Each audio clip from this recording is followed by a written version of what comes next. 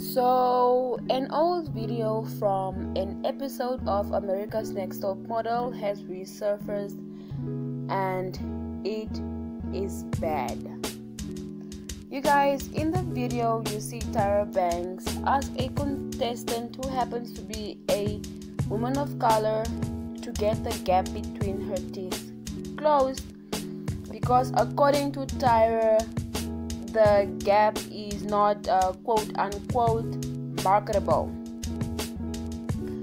You know, people have been coming for Tyra Banks left, right, and center, honey, and really, you cannot blame them. You really can't blame them. Women are constantly reminded to love themselves and that which makes them different.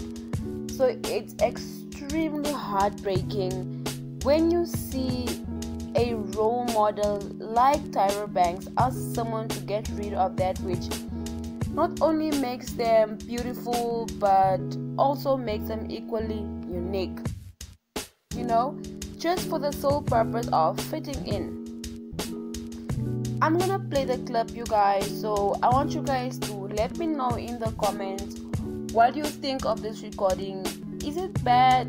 Is it good? Because you know, we all have our opinions, so I'm gonna play it and then y'all just let me know. So, Danielle, you went to the dentist, but you refused to have your gap closed. Do you really think you can have a CoverGirl contract with the gap in your mouth?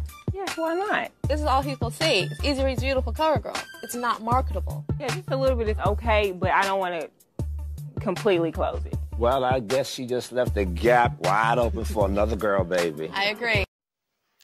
Alright, you guys, I'm done with this. Please let me know what you think in the comments.